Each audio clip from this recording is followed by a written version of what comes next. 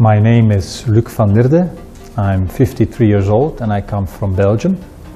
I was previous a professional triathlete. I won the Ironman World Championships two times in 1996, 1999.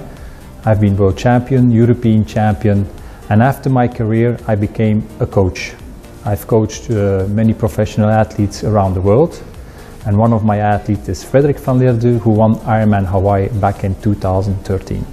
It's now three years that I've been coming to Thailand. It was Champ who contacted me and asking me if I would coach him. And Champ knows that I am work scientifically. In those three years that we have been working together, he has made a lot of progression and became the fastest Ironman athlete in Thailand with breaking the national record in 9.15.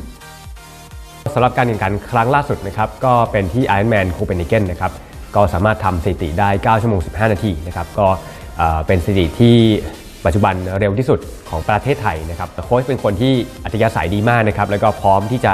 แลกเปลี่ยนความรู้ต่างๆ กับนักกีฬาสมัครเล่นทั่วไปนะครับสิ่งที่ผม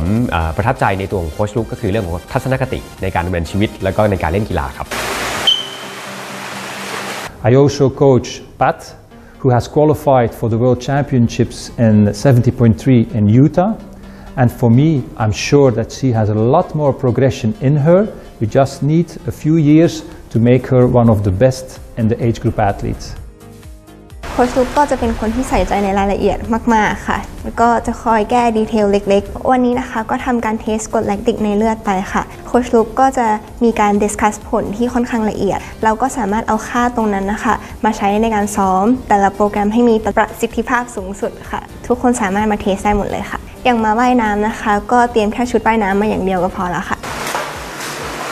And then for the younger athletes, I have Matias, who is 17 years old. And for the, for the moment, he is the best Thai athlete here. So he will be racing not only in Thailand, but also abroad because he still has a lot of progress being so young. My aim in the long run is to hopefully go to the Olympics one day. Short run is to perform well in Belgium during the summer. I promise myself that one day I will be at the Olympics